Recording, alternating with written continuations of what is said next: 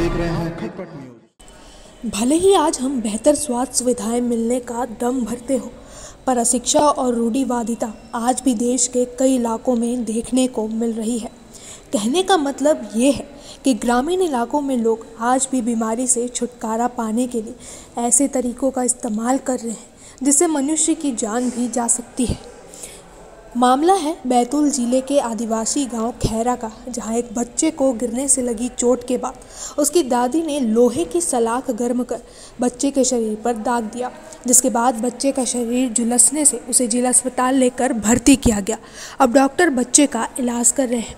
बच्चे को दुकान भेजी थी सर वापस लौटने में वो गिर गई, ब्रेक कार है ना जो गली में, वो ब्रेक कार में गिर गई सर। सूजन आ गए तो सास ने मत, में स्कूल में गई और सास ने फिर डम्मा दिया। सर, डम्मा में ठीक हो जाएगा, कर को ऐसा दिया डॉक्टर को नहीं दिखाया, सर पहले जला ही दिया।